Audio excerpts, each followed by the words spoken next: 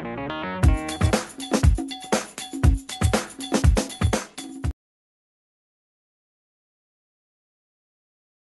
African researchers are claiming another milestone in combating HIV and AIDS. This after scientists at the government funded Center for the AIDS Program of Research in South Africa, engaged in HIV antibody research, discovered neutralizing antibodies that could lead to a development of a prevention vaccine for HIV and possibly a cure for AIDS in coming years.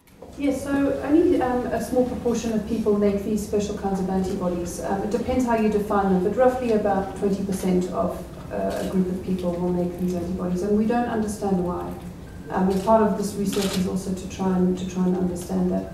But just to reiterate that the the, the, the people that make these broadly neutralizing antibodies, unfortunately, it doesn't help them because the the antibody is essentially a step behind the virus, um, but and then so the virus escapes the same way it escapes antiretroviral therapy, and so.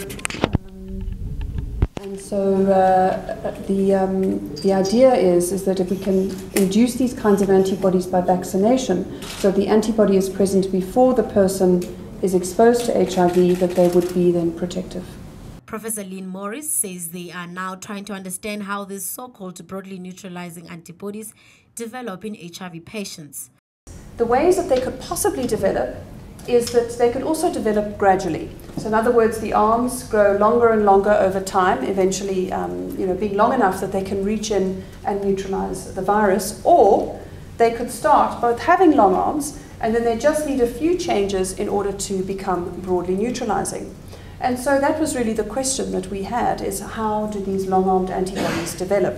Health Minister Aaron Motsoaledi welcomed these new developments in the field of HIV and AIDS research.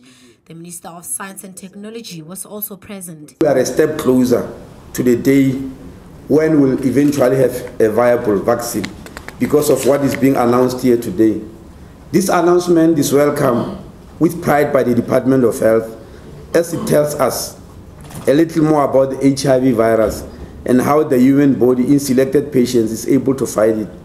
These studies illustrate the importance of research and the need for patience and dedication. It's a, it's a real privilege to be here and to be associated with these world-class scientists and researchers like Lynn Morris and Michelle Mulder and uh, Penny and many others who are doing unbelievable work, outstanding work in our country and have really put our country very uh, firmly and solidly on the map of uh, a country that is doing exactly what Minister Motsoaledi would like us to do, and that is be in the forefront of the attempt to um, combat and finally put an end to this uh, HIV AIDS problem that we're trying to deal with in our country.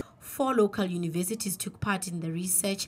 Scientists at Wits, KZN, UCT, and the Western Cape teamed up with local and international health organizations, including the U.S. National Institute of Health and South Africa's National Institute of Communicable Diseases. This. South Africa has the highest prevalence of HIV and AIDS in the world. 30% of global antiretroviral drugs users are to be found in South Africa.